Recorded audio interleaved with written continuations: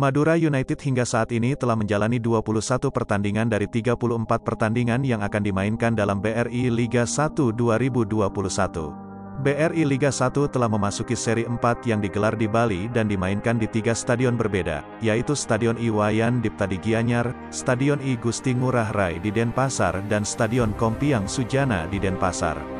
Hingga pekan ke-21, Madura United telah meraih 25 poin dan berada di peringkat ke-10 klasemen sementara BRI Liga 1 2021.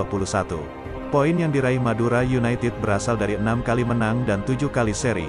Sementara 8 pertandingan sisanya, Madura United harus menderita kekalahan.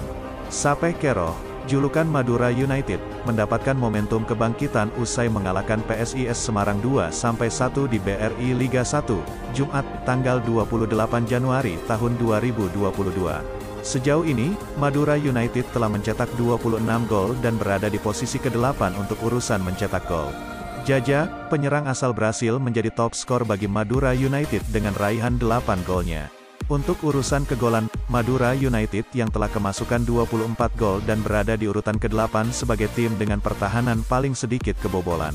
Saat ini, Madura United terpaut hanya 5 poin dari Persela Lamongan yang berada di zona degradasi. Dengan hasil yang tidak memuaskan sejak memulai seri 4, Madura United harus memanfaatkan 7 pertandingan sisa di seri 4 untuk meraih sebanyak mungkin poin, jika tidak ingin lebih kesulitan di seri 5. Berikut jadwal lengkap Madura United di seri 4 BRI Liga 1 2021. Tanggal 28 Januari, Madura United 2-1 PSIS Semarang. Tanggal 1 Februari, Persipura vs Madura United. Tanggal 5 Februari, Madura United vs Persela. Tanggal 9 Februari, Persija Jakarta vs Madura United. Tanggal 14 Februari, Madura United vs Persiraja. Tanggal 19 Februari, Arema FC vs Madura United tanggal 23 Februari, Persita vs Madura United, tanggal 27 Februari, Madura United vs Persebaya.